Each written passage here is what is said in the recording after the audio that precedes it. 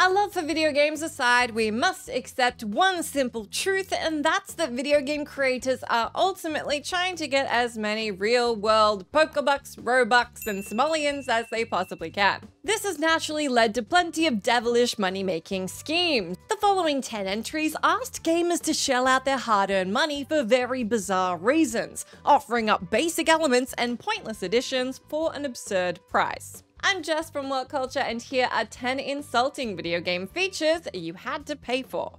Number 10 Elvish Dialogue, Lord of the Rings Gollum. Many Middle Earth fans felt insulted by 2022's The Rings of Power, but damn, who could have predicted an even bigger stain on Tolkien's legacy would rear its ugly head barely a year later? The jury is well and truly in for the Lord of the Rings Gollum, which is, I don't know if that's a phrase, but I think we're going to make it one. As we know, the game is an abysmal trash fire, but that doesn't stop the developers from trying to pop more gold into their golden dragon hoard of treasure and gold and stuff as they try to charge you for elvish dialogue. As can be expected from a Middle-earth game, the title is full of elves, and as such, the devs wanted to include the Sindarin language to help with immersion.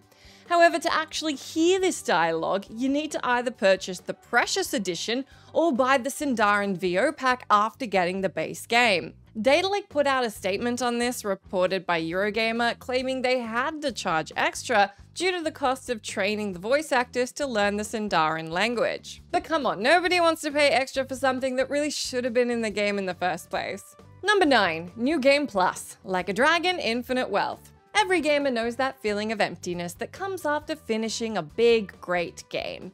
However, unlike the need to move on after a breakup, you can easily live in the past through the brilliance of New Game Plus. The ability to play through a game more than once, but with all the experience and items you gained in your first run, is something gamers cherish. Sadly, while this often comes as standard, the newest Yakuza game pops it behind a paywall that hits harder than a Komaki Tiger Drop.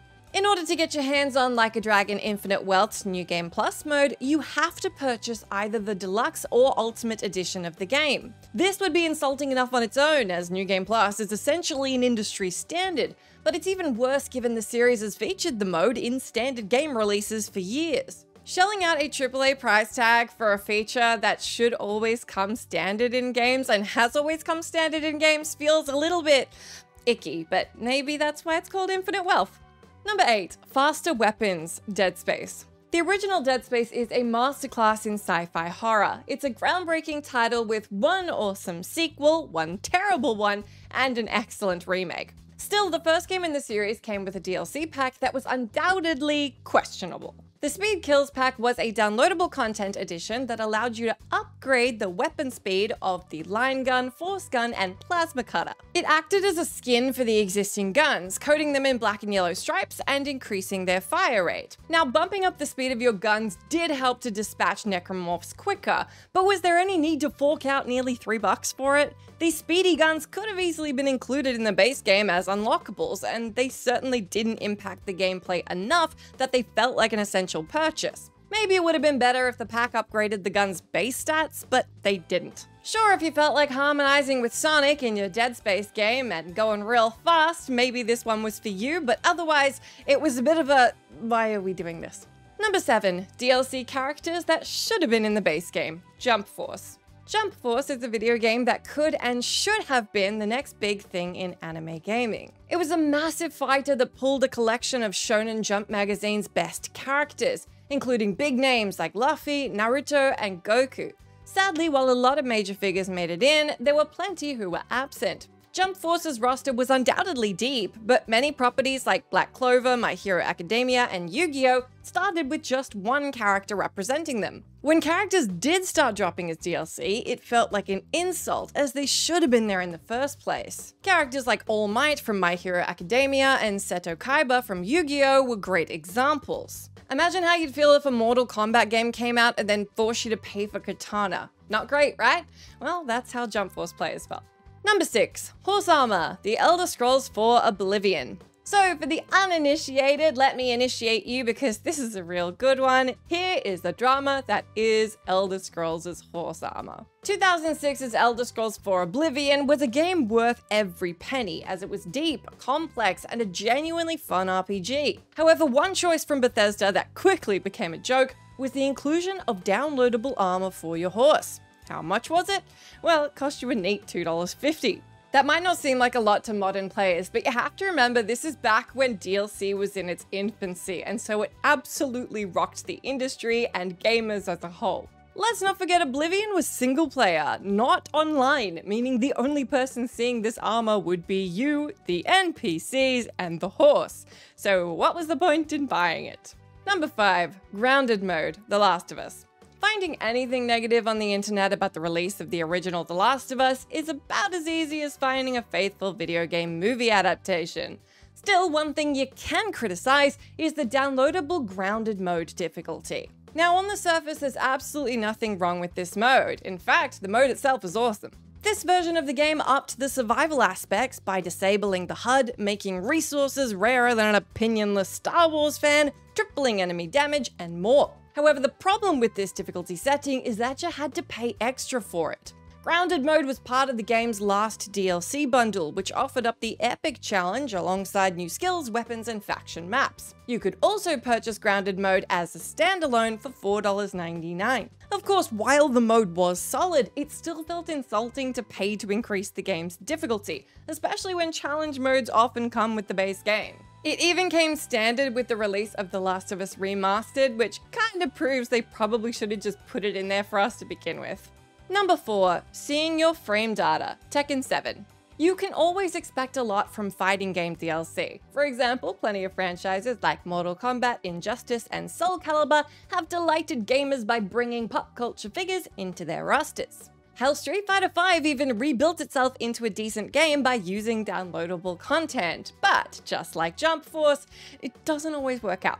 You wouldn't be wrong in expecting high quality DLC from a legendary series like Tekken, which is why players were so frustrated when the seventh mainline installment offered a unique additional feature in the third season pass. What was this feature? Well, it was a frame data display that allowed you to analyze attacks, blocks, and advantages by going through your frame data. This was met with overwhelming criticism from the player base, who saw it as a cheap attempt to squeeze more cash out of players with the promise of a slight technical advantage. Sure, it was only $4, but again, it's the principle of the matter. Gamers shouldn't have to open their wallets to get something as basic as frame data. Number 3. Additional save slots, Metal Gear Survive. Gaming has changed so much over the years, yet one thing that's remained constant is the use of save slots. It's such a basic function that any game that doesn't use them, you can tell it's a specific design choice. So when Konami decided they would charge you if you wanted to use them, we can only assume they were cackling maniacally. The infamous Metal Gear Survive had the word soulless cash grab all but printed on the front.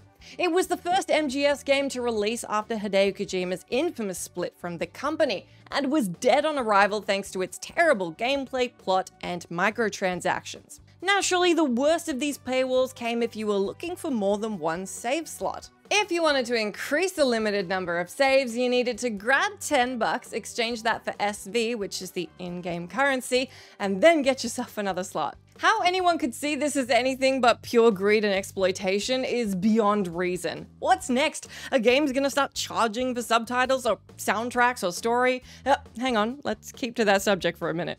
Number 2. Story Missions, Overwatch 2. Oh boy, Overwatch 2, the sequel that Blizzard absolutely screwed the pooch on every step of the way. This game drew the ire of the whole industry thanks to its constant run of bad choices, like cutting the highly anticipated Hero PvE mode. However, one of the most egregious examples was charging extra for story missions. Fans have been waiting for these missions since the game's launch, with many shocked they weren't there already. Sadly, when they did drop, it was nothing short of devastating, as there were only three threadbare missions, and you had to spend 15 bucks to play them. The Resistance, Liberation, and Ironclad missions dropped as part of Season 6, and did nothing to drum up enthusiasm from the player base, with low player counts on all of them. It's safe to say that multiplayer games without story modes are definitely becoming more commonplace and popular. I mean, just look at Helldivers 2. But promising a bunch of story missions and then not including them and then charging for them when you do include them, not the best move. Number 1. Looking Glass Ocular Implant, EVE Online. Gamers nowadays are more than used to paying to add extra details to their online characters. It makes sense as you want to stand out when you're roaming a multiplayer world, right? But this monocle damn near broke players when they found out how much it cost. EVE Online is an epic space MMORPG that generates a vast and complex universe for you to play around in. As such, it comes with plenty of cosmetic options for those seeking to delve deep into the role-playing, with the Looking Glass Ocular Implant being one of the most infamous, as it costs, and wait for it, I hope you are sitting down, 60 freaking dollars. Naturally, if you're gonna spend such a whopping amount on your video game passion, which by the way could get you a double A if not triple A release, you're gonna want to at least stand out. This small, barely even noticeable monocle is far from meeting that standard, as it doesn't even impact the gameplay and makes precious little impact aesthetically. If you've got the money to waste on something like this, then good for you, but for everyone else, it'll just be a joke.